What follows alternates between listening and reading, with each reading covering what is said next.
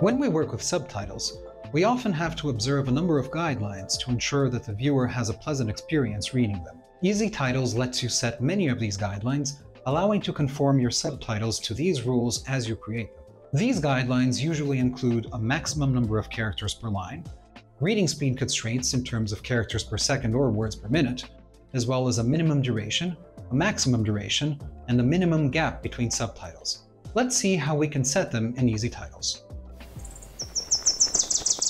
I've created a new project. We're looking at the project settings. Let's go to the Safe Area tab. Here in Horizontal Lines, we set the maximum number of characters in each line. By default, if you exceed this limit, EZTitles doesn't warn you. It breaks the line for you. Here under Margins, we can configure the position of these four lines that show where subtitles are allowed to appear. Row interval and line spacing are two ways to set the gap between the subtitle lines. You can see in the preview screen how this affects the subtitles visually.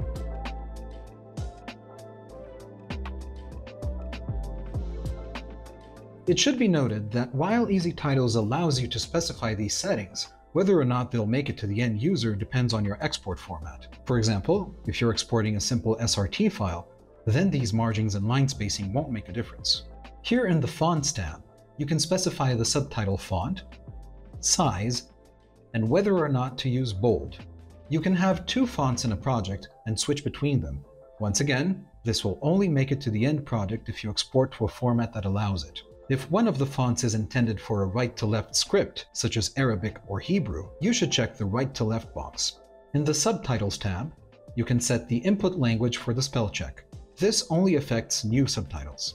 You can change the language of subtitles that have already been created here at Tools, Language, Set Language.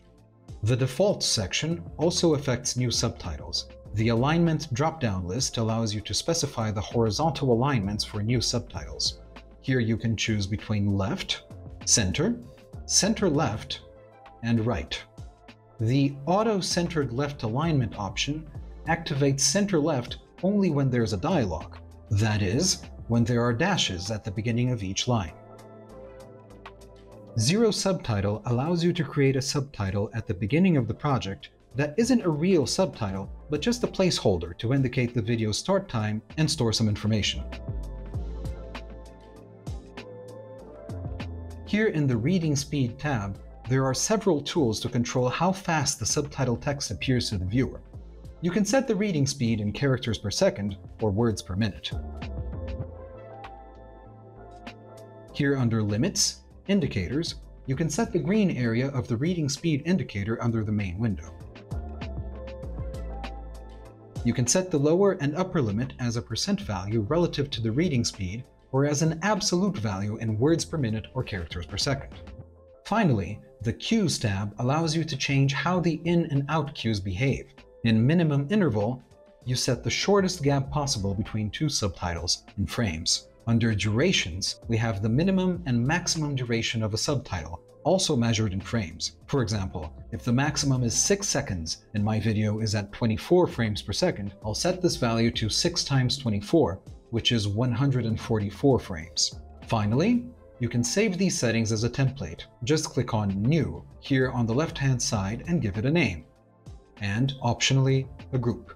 To load a template, just click on it. Here are a few examples of how EZTitles shows you in real time that something's wrong.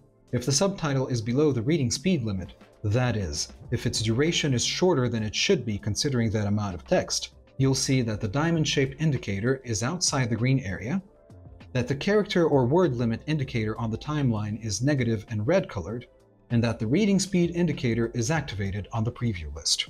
If the subtitle is shorter than the minimum duration or longer than the maximum, you'll see this duration indicator on the preview list. You'll notice we didn't go over each and every setting, as this is a basic course and our goal is to get you up and running.